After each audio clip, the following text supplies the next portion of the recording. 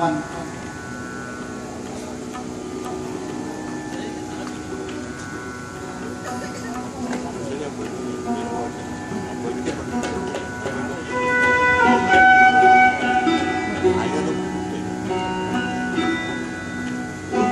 एक संदेश प्रस्तुत होगी।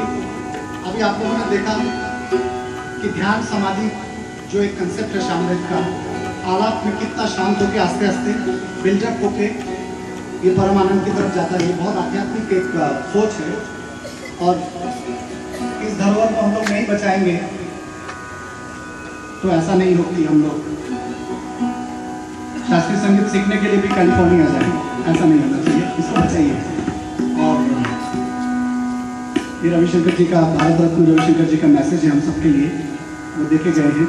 तो इसकी सेवा करनी पड़ती है रूपक ताल में एक बंदिश और तीन साल में आप लोग किस तरह से ये चरम सीमा में पहुँचता है, उसका अनुभव करेंगे। ये सब संगीत का जड़ है और आप लोग इतनी भारी संख्या में आके इसको, आलाप को इतने प्रेम से एक एक जगह समझ के